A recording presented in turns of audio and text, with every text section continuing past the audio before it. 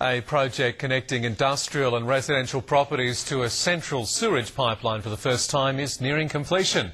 The multi-million dollar upgrade is being designed to handle a projected increase in Warragul's population over the next five years.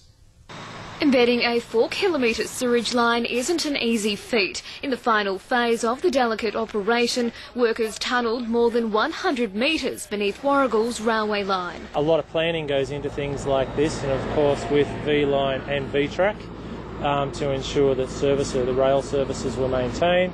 Two years in the planning, the $13 million project will for the first time connect residential and industrial properties near Bourke and Howard Streets to a sewerage main. Up until this point, properties relied solely on septic tanks. This is, if you like, similar to the highway that the arterial roads will connect into. So, for example, the, the main trunk sewer main that will go here will allow a lot of other connections to come into it. The last phase of the project will not only service existing infrastructure, it's equipped to accommodate for the projected increase in Warragul's population over the next five years. We have a very, very fast growing area in Warragul, and for us to plan for that into the future, um, takes a lot of care, takes a lot of time, and takes a lot of infrastructure like this to support those growing communities. The entire four kilometre project is expected to be completed by mid June. Alexandria Zazimarkis, Win News.